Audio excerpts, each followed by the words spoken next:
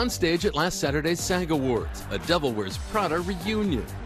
SAG nominee Emily Blunt, alongside Prada alums Meryl Streep and Anne Hathaway, delighting the crowd with classic lines from the 2006 comedy.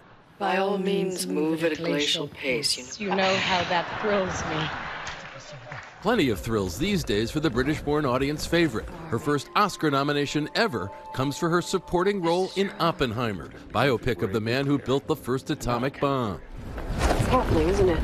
Emily Blunt giving a note perfect performance as Oppie's brilliant, troubled wife, Kitty, forced to endure the indignities of a mid century marriage.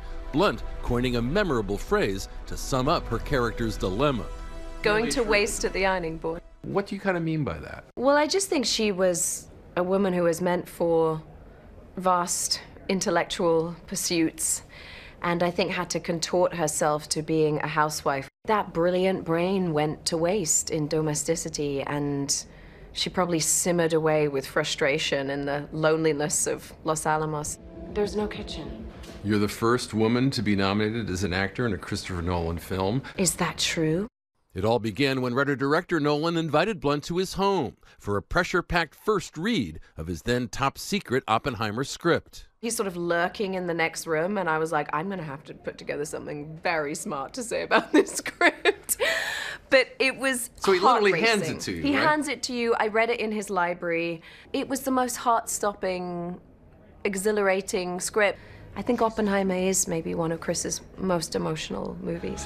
You don't get to commit the sin, and then I was all feel sorry for you that it had consequences. And it almost read like a chase thriller, and I knew what was going to happen. But you still are fascinated with how they got there. I'd never read a script like that.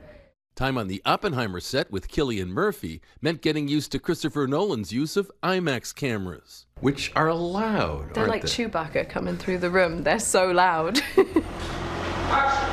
I think when you put the IMAX camera on Cillian's face and use his face as a landscape, as you normally would a landscape, you can't rip your eyes away from him because you just see every nuance, every ripple.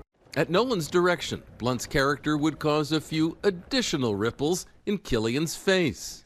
You're under a rock with Cillian Yeah. in an important scene, and In life. and you're fighting, and Christopher Nolan gives you a direction. Slap him. Yeah, he'll be fine, he said. And he was fine, but I was gonna sort of fake hit him.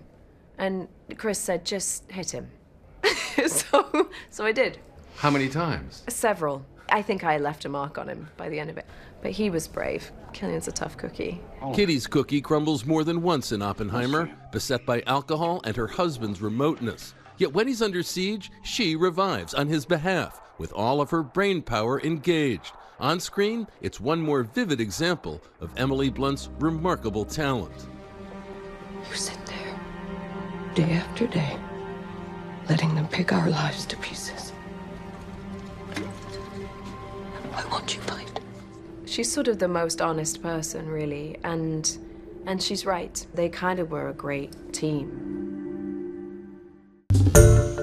Hi, everyone. George Stephanopoulos here. Thanks for checking out the ABC News YouTube channel. If you'd like to get more videos, show highlights, and watch live event coverage, click on the right over here to subscribe to our channel. And don't forget to download the ABC News app for breaking news alerts. Thanks for watching.